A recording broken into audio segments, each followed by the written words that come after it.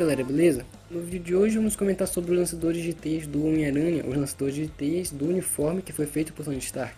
E vamos falar também de algumas curiosidades sobre esse lançador tecnológico. Bom, os lançadores de teias não lançam apenas teias, ele também lança o rastreador aranha. No filme a gente viu o Peter lançando o rastreador aranha no pé do choque, para assim rastrear ele. E o rastreador aranha é meio que um mini drone, porque quando o Peter lança ele a gente vê ele andar lá pelos pés do choque. E os lançadores de teias também tem monte de funcionalidades, assim, para mostrar se quer lançar teia ou se quer lançar o rastreador aranha. E aqui mostra um botão de uma configuração do lançador, se quer configurar ele para lançar o tipo de teia que quiser, ou até mesmo o Peter fala para Karen, a inteligência do uniforme, qual teia ele quer lançar. Então assim ele aciona o lançador e ele lança. E os tipos de teias que ele lança a gente já sabe. No filme mostra que ele pode lançar teia ricochete, teia dupla, granada de teia, teia explosiva, teia de impacto, como também tem no jogo do Homem-Aranha de PS4, a teia que a gente viu na Batalha da Barca, que o Homem-Aranha lança a teia no carro, então aí tem um sensor nela, o cara passa por lá, e a teia gruda nele. E também tem bolas de teias, como a gente está acostumado a ver nos filmes do Homem-Aranha, tanto no da trilogia como no da franquia da Miss Spider-Man.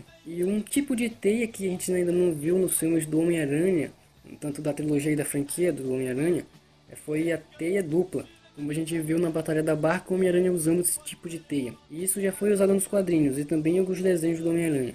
Mas nunca em filmes, então essa aqui foi a primeira vez que a gente viu a teia dupla aqui no filme do Homem-Aranha.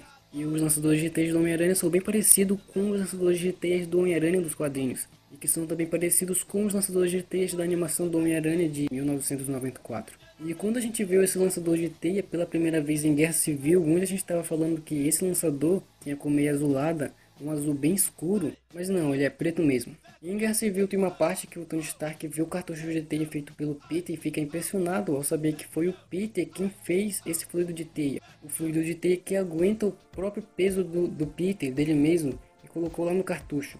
Então pessoal, a gente não sabe se o Tony Stark sabe fazer um fluido de teia, ou se ele não sabe fazer, Bom, se ele não sabe fazer, foi porque ele, ele fez lançadores de teia, só os lançadores pro Peter, e assim o Peter ainda continua criando os fluidos de teia. Porque mesmo se o Tony Stark conseguisse criar um fluido de teia, já tinha criado aí pro Peter. Bom, mas não sabemos se isso é verdade, se o Tony Stark não criou os fluidos de teias, e não criou os fluidos de teias porque ele não sabe criar essa estrutura, essa estrutura que faz aguentar o peso do Peter e colocar no cartucho.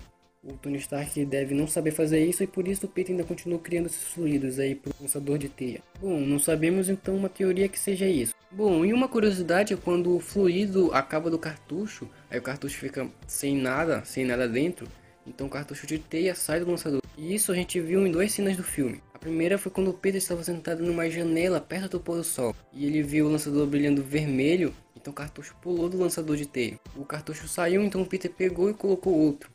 E uma outra vez foi na luta na barca. De cada lançador de teia o cartucho saiu, então depois o Peter só colocou outros cartuchos já com os fluidos dentro do lançador. E isso até que é bem legal, quando o cartucho não tem mais nenhum fluido e tá tudo vazio por dentro, ele sai do lançador, ele tipo que pula do lançador. Então assim o Peter vê que não tem nenhum fluido mais no cartucho, então ele coloca outro. Bom, mas então é isso pessoal, esse foi o vídeo de hoje. Bom é isso, deixe seu like, compartilhe o vídeo e se inscreva no canal. Fui!